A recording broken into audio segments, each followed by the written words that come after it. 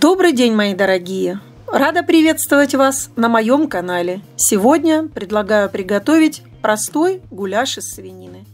Для этого нам понадобится свинина, репчатый лук, томатный соус, растительное масло, соль, специи для мяса и лавровый лист. Я буду готовить в казане, разогреваю, наливаю растительное масло.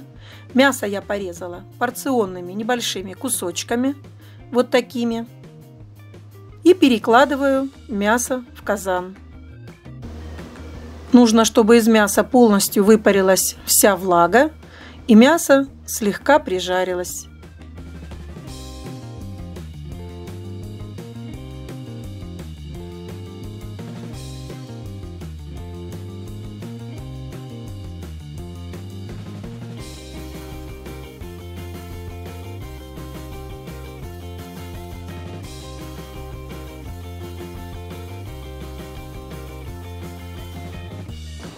Как только мясо прижарилось, добавляю репчатый лук, порезанный некрупно, и тоже нужно слегка поджарить.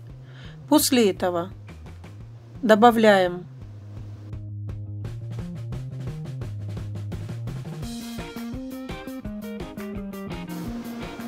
томатный соус. У меня домашний, можно взять магазинный или заменить томатной пастой.